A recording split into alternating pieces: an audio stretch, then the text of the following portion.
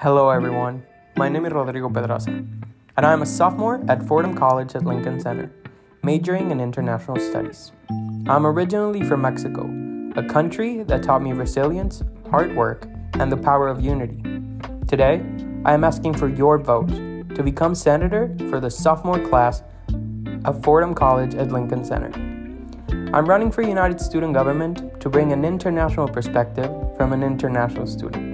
More than anything, I believe in the power of diversity.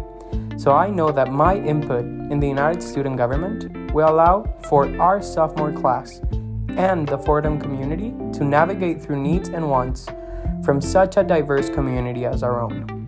Majoring in international studies made me understand the value of listening to both community and environment. So, if elected, I will prioritize making Fordham College at Lincoln Center a more sustainable and eco friendly environment to the best of my ability. I will also work alongside the United Student Government to give more space for cultural, international exchange of views. Also, I believe that events like the FIFA Soccer World Cup help unite people no matter where we're from or how we identify.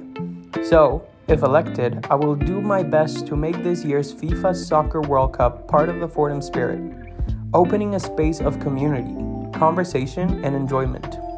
Thank you so much for listening, and remember to vote Rodrigo for sophomore senator this September.